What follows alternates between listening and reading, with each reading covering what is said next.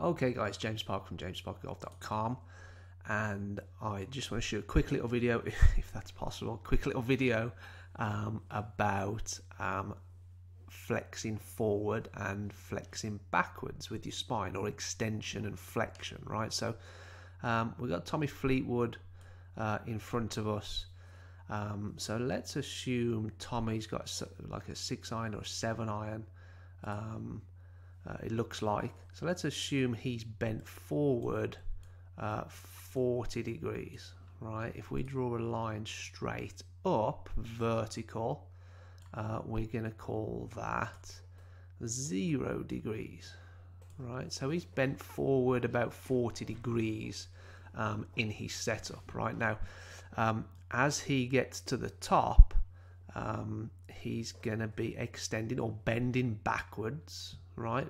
His, his spine's going to be uh, bending backwards, extending uh, to get up close to zero degrees, right? So it's difficult to to tell this on a uh, to pick this up on a with a static camera position. We need to go uh, and look from different positions, and I'll do that in a second. Um, uh, but but then as he comes down he then flexes back forward, right down to P6, where you see him, where you see uh, the pros get down into a position. And this is why the head drops as well, guys. Right, so you look at his head there, his caps maybe at the top of four and zero. Then the head drops, just like Tiger. Uh, and then when you get when you see them in P6, they're shaft parallel with the ground. That's when their spine is in a similar sort of position to to when they started. And then what you see from there is their spine start to extend a little bit again. So maybe it would go from, you know, bending forward 40 degrees to extending a little bit up to maybe 30 degrees. And then as he goes through impact and post impact, his spine's going to be bending backwards, right? Uh, and I'll pull some other examples up in a second. But with regards to bending backwards, a good way of thinking about that would be well, if he stood up straight, he'd be up to zero. Um, if he bent backwards, right, um, he would be over here, right? So his spine now is bending backwards past zero. So bending forward 40 degrees to set up to it, he's bending backwards or extending to get up to about zero at the top of the swing, flexing forward again down to P6, and then after P6 through impact, post impact, right up right up to his finish, um, he's bending backwards, right? So, so let's give you a um, let's give you an example of uh, the extension first. Um, so let's do this with Dustin Johnson. Let's put a line next to his ear, couple of lines next to his shoulders and hips right? And and the best way to think about it would be it's all relative to with the with the bending forward and backwards. It's all got to be relative to where the chest is pointing, right? Where his um, you know where where the buttons on his on his on his collar are pointing, where his chest is pointing, right? So so uh, at setup, you know, his chest is facing the camera. Uh, at the top of the swing, his chest now is going to be pointing this way, right? So you look at his spine, right, pretty much at zero, right? So that's what we, that's what we, that's the kind of the, from a, from a 2D analysis, we kind of, you know, all this is obviously three dimensional. The bend, the, the bending and extending, the rotating, the or the or the turning, uh, and also the tilting as well, the tilting to the left, the tilting to the right. But you know, I'll cover those in future videos. Um, but that's a good way of thinking uh, of, of understanding how the spine uh, bends backwards or extends as you get up to the top, right?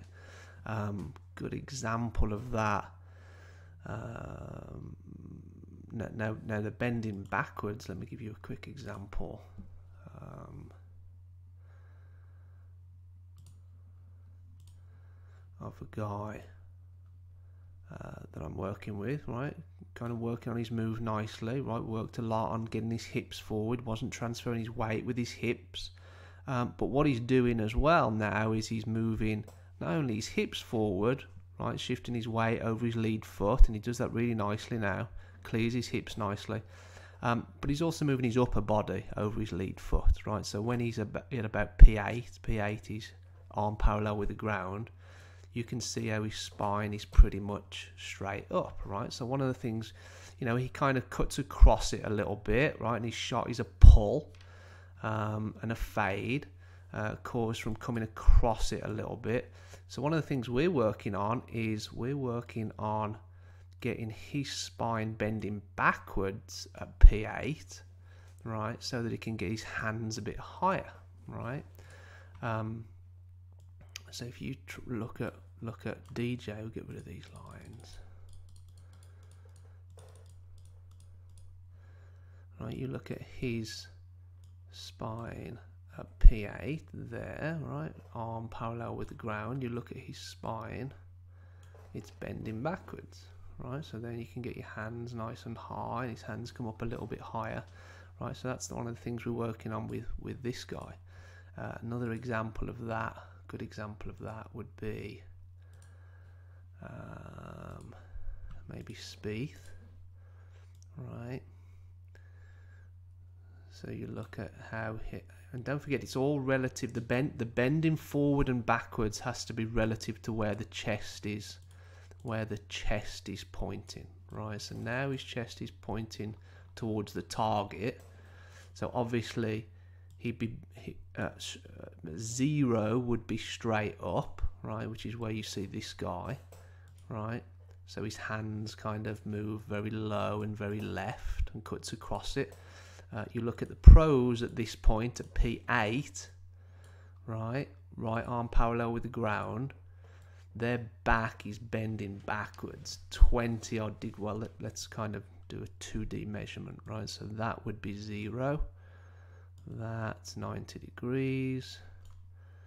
Uh, middle would be 45 degrees, yeah, maybe 30 degrees, 35 degrees, maybe, right? That's a lot, right? So that's how much his spine's bending backwards um, at P8, okay? Uh, another good example of this would be, just bear with me a second.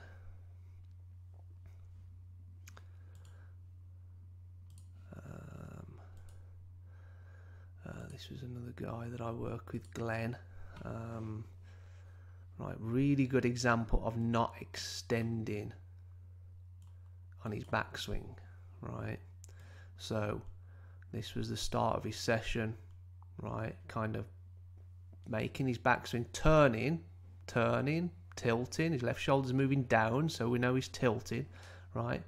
But he's not extending, right? And you can see how he gets to the top and his head moves a little bit. Um, and you can see how his spine now is over here right so he's so he's so he's he's turning staying in a forward flex right? So one of the things that we that we did with him was we just got him extending more to get up to the top and it pretty much transformed his backswing right?